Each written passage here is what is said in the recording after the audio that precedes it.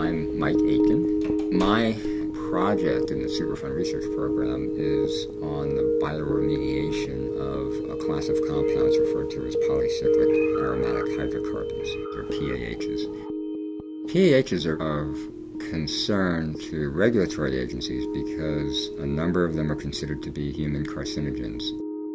What we're focusing on is understanding more about how to design biological processes to remove PAHs from contaminated soil. You could go to almost any soil and find organisms that are capable of bioremediation that could convert waste into something benign. They're metabolizing PAHs the same way you and I might metabolize cake. There's a potential that bioremediation can create products that might be at least as toxic as the original PAHs, the parent compounds, or maybe even more toxic.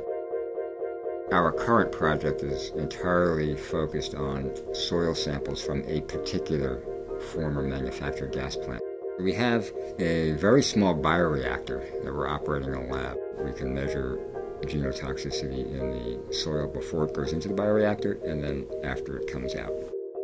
We've observed that there's actually an increase in genotoxicity as a result of the bioremediation, even though the PAHs are going away.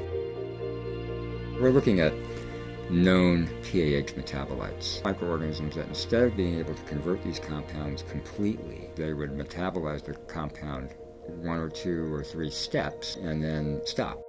They are contributing to genotoxicity, the potential to be toxic in a way that is manifested through a genetic change.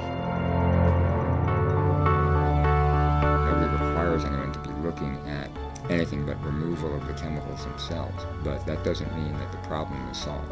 So I guess that's why I would consider this work to be important. The outcome that particularly appeals to me is that somebody in the real world will use the knowledge that we've created in a way that either helps them understand how to do what they do better, helps clean up sites, or helps reduce human exposure to harmful things.